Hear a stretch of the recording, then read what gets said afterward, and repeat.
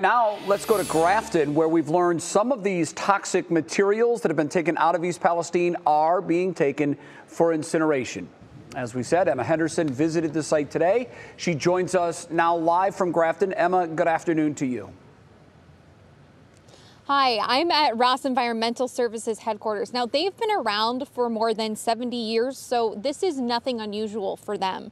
Now, they use an incineration process that will burn the toxic waste at an incredibly high temperature, turning it to ash. Company officials say they deal with this type of byproduct from businesses and even other derailments in the past. The EPA selected them as one of the companies to handle the East Palestine waste, and to qualify, a company has to meet all EPA safety standards this is what our experts do. Uh, they're the best in the business. They're used to working uh, with materials that you have to be careful with. Uh, this particular waste stream will be no different.